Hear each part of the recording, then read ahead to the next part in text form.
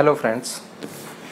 Today I am going to show you how you can configure your the Wi-Fi configuration of your Smarteefi devices using Apple devices like iPhone. So there are three places from where you can start the Wi-Fi configuration process. One is from the dashboard. You see a, a Wi-Fi icon on the top bar. Second is from the modules. There is a Wi-Fi icon on the modules also. And third is the device settings. From here also you can initiate the Wi-Fi config process. Let's go back and start it from the dashboard. So we click on Wi-Fi configuration. So first of all it show you the preconditions that are required for successful Wi-Fi uh, configuration. Uh, number one, the device must be in the settings mode. How you can put the device into the settings mode? We have a separate video for that. We have three types of devices: touch, push, and the retrofit not switch. Uh, on the touch devices, you need to touch the first switch for more than five seconds. On push devices, you need to push the first switch for more than five seconds.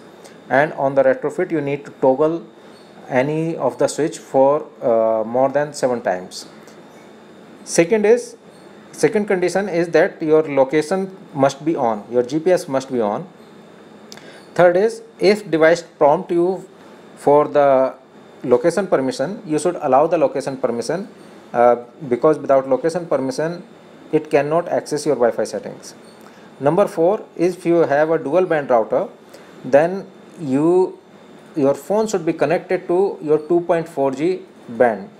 So if you have uh, dual band router and you see your Wi-Fi name with the two names, you connect your phone to the name which is for your 2.4G network. Okay, let's go to the next. Here it will ask you which device need to be selected for configuration. Since I have one device only, so I select this and press next. Now it is asking whether the device is in the settings mode or not. If the device is not settings mode, please put it into the settings mode. If you confirm, then it will detect your currently connected Wi-Fi. So since my Wi-Fi is connected to my 2.4G network and the name of that network is Smarteefi, so it has detected that. And it's asking me a confirmation whether it's a 2.4G network. So since it's my 2.4G network, I say yes I enter the password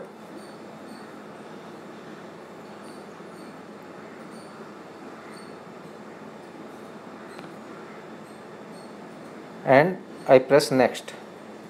It will ask you to join the network with the serial number of the device.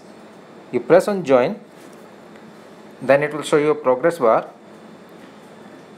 It's trying to and uh, put those uh, settings into your Smarteefi device and when success you will see this message the parameter is configured successfully press ok after 30 seconds of your configuration if your password is correct and your device is in the Wi-Fi range uh, the device should be connected and it should become online thank you